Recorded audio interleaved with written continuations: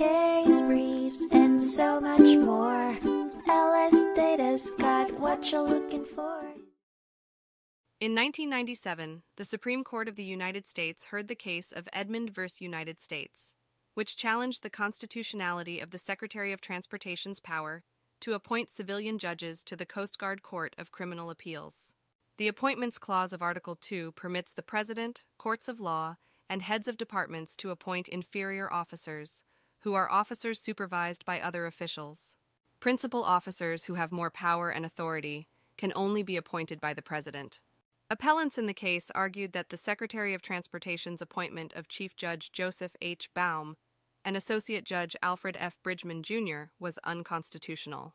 The Coast Guard Court of Criminal Appeals is an intermediate court that handles appeals from courts martial. Judges of this court can be commissioned officers or civilians as long as they are members of the bar. Initially, both Baum and Bridgman were assigned to the court by the General Counsel of the Department of Transportation but subsequent events raised questions about the validity of their appointments. In its decision, the Supreme Court upheld the judgment of the Court of Appeals for the Armed Forces, ruling that the appointments of Baum and Bridgman were valid, as they were considered inferior officers. Thus, their decisions on the Coast Guard Court of Criminal Appeals were deemed legal.